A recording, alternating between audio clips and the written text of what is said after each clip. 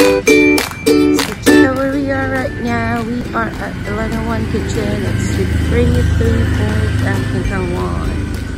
Of course, we are ready for our Halloween crafts. Let's take a look at inside.